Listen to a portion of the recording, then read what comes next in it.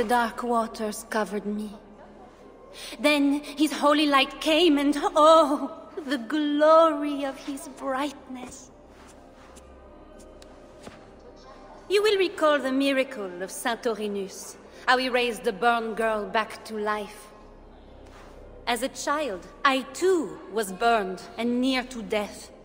At his altar, the saint appeared, touched me, and I was healed.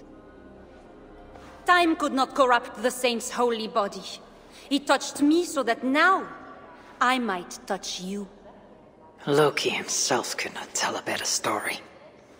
God is light. But what have you done in his light? All are turned to their own way and gone astray into darkness.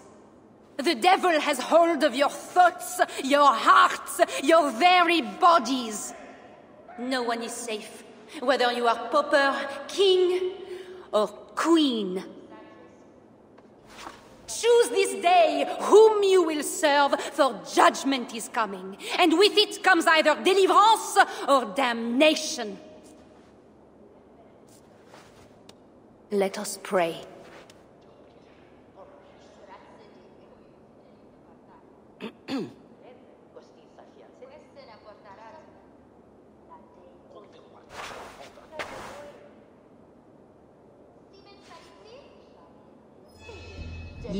Gone. This little mother knows something about the Queen. I need to find her.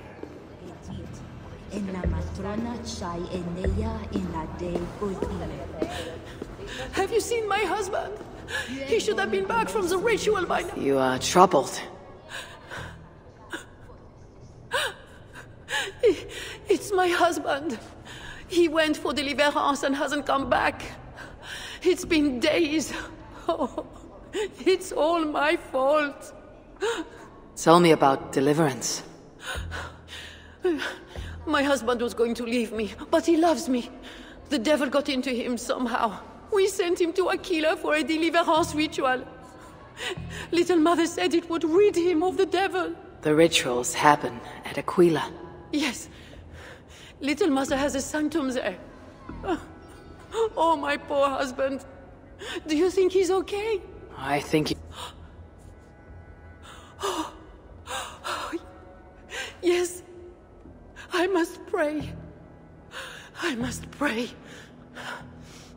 I should go to Aquila, where rituals are being done.